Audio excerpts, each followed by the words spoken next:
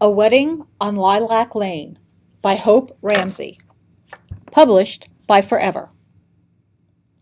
Ella McMillan has left her old life as a country music star to return home just in time to discover that her mother is getting married again. She's roped into planning an engagement party with the groom's son, who disapproves of the match.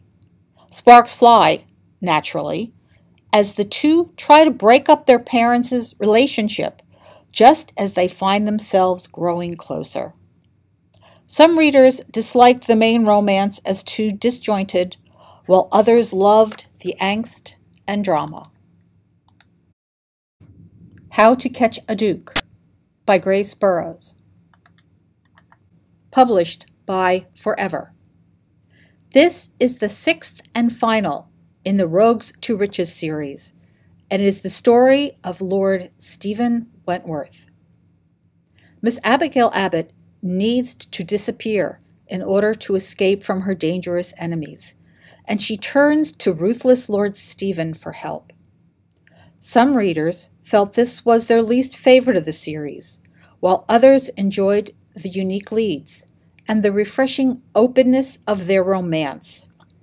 If a fake engagement is your catnip, this just might work for you.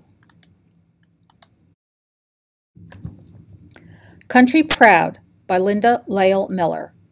Published by Harlequin Books. As the sheriff of Painted Pony Creek, Eli Garrett loves his job, but feels there's something missing from his life.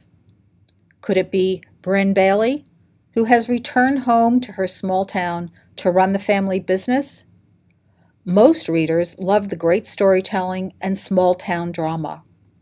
But others complained about a heroine who always chose to be second best.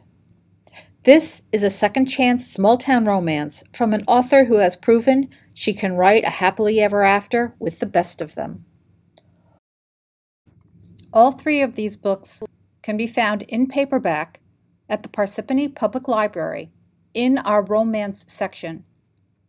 The reviews for these books were excerpted from the Goodreads website.